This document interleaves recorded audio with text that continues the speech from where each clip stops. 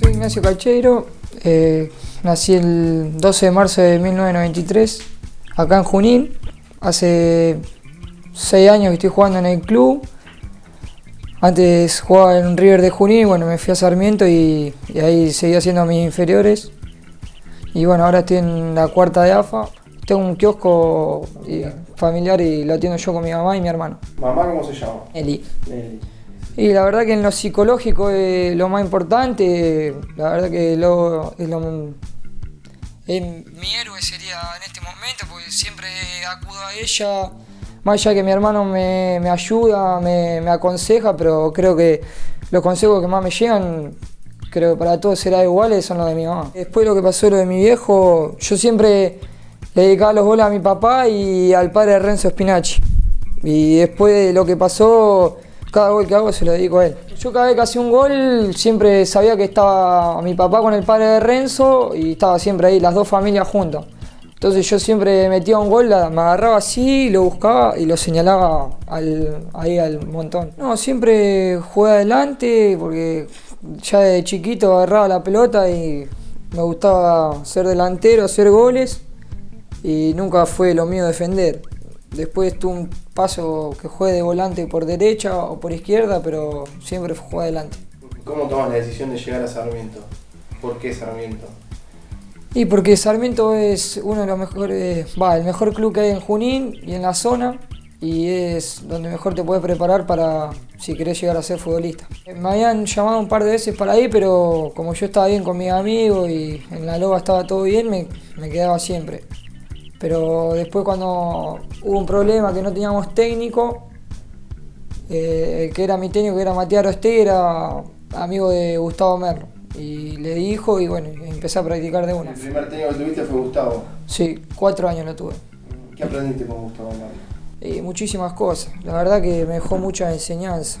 La verdad. Y se había formado un buen grupo, que eso lo había formado más que nada él, por, por las cosas que nos enseñaba.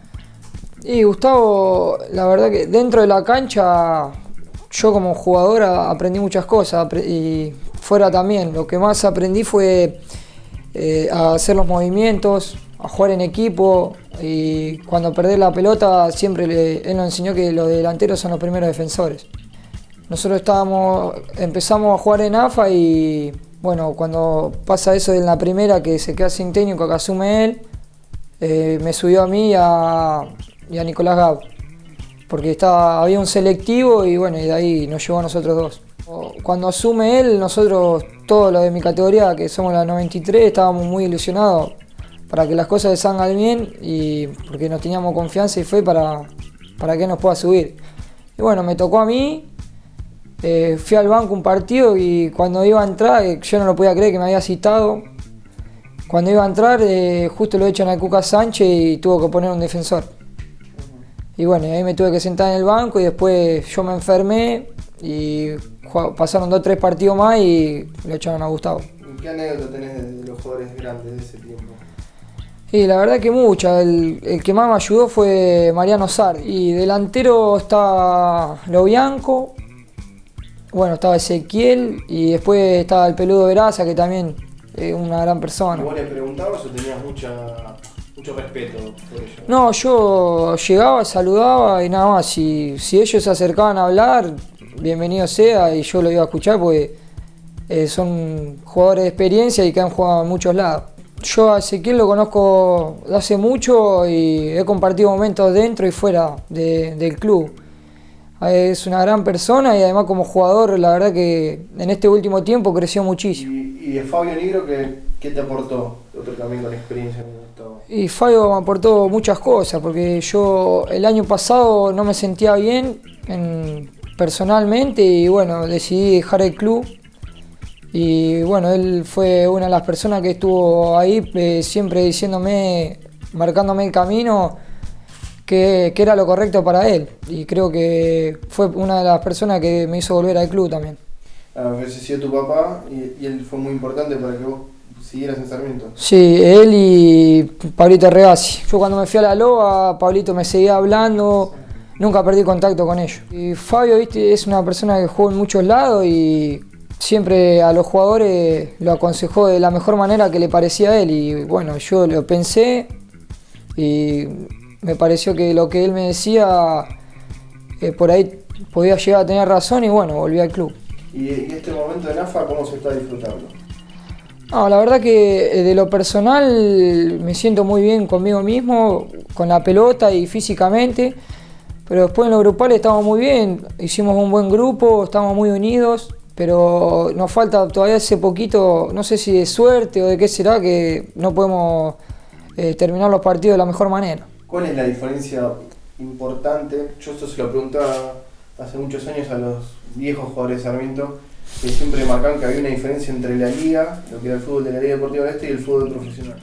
Y creo que nosotros cuando jugamos en Juveniles B era totalmente diferente a lo que era la liga local. Porque en la liga local eh, al mínimo roce es full, eh, no se pega tanto, en cambio ponerle en juveniles B todo canchas malas, roce, patadas, codazo, empujones. Por lo menos ahora en juveniles A hay mejores canchas y se puede jugar mucho más, pero físicamente es todo diferente. ¿Y, a nivel juego? Y a nivel juego, cuando estábamos en la B, mucho no se podía jugar, nosotros por ahí intentábamos, pero las canchas no permitían y los rivales tampoco, eran todo de correr y meter, correr y meter y ahora se corre, se mete, pero la cancha ayuda mucho y, hay, hay, espacio para poder jugar. Y yo creo que eh, lo, que mejor hicieron en el club fue ahora subir a Renzo y a Franco. Eh, por ahí a Franco, yo viéndolo de, de amistad y cómo lo conozco, él es una persona que, tendría que haber subido antes, no digo que, sea tarde, pero hace mucho tiempo que viene haciendo las cosas bien y lo mismo que Renzo. Por ahí, qué sé yo, le daría la, oportunidad, como ahora le toca a Juan y López, a Lucho que viene haciendo las cosas bien, pero hay varios jugadores que tenemos importantes en, la categoría. Cuando Sergio llegó, yo estaba en la profesional y bueno, eh, después él decidió hacer un plantel más corto y me dijo que vuelva a practicar con mi categoría así que ya me conoce. Si viene un técnico, vino Martín Fune y me dijo, mira, Sergio quiere un plantel más corto y va a traer algunos jugadores de experiencia. Entonces yo lo entendí, eh, nunca, nunca me bajoné ni bajé los brazos. Es más, volví a jugar con mi categoría y ese año terminamos saliendo campeones y la verdad que es un buen torneo. ¿Cómo ves esta posibilidad de, estar en la pretemporada, eh, esta semana en Buenos Aires? No, yo lo, veo una gran posibilidad, más allá que ya Sergio nos conoce a nosotros, eh, pero es una gran oportunidad para que nos demostremos un poco más. Y bueno, voy a ir a, dar todo lo que tengo para ver si puedo eh, subir al, profesionalismo y lucharla ahí arriba. ¿Cuántas veces soñaste estar en la etapa del diario La Verdad, de Democracia acá, gritando un gol de Sarmiento? Y la verdad que sería un sueño perfecto, ¿no? Llegar a jugar en Sarmiento, un club de, donde yo nací, un club muy grande. Y bueno, ojalá me toque algún día entrar y poder meter un gol o hacer lo mejor que pueda hacer para el club.